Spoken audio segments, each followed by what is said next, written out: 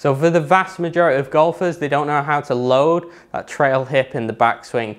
Very simple drills just to get you the feeling of that glute medius and glute muscle loading up. So what we're gonna do is get into golf posture.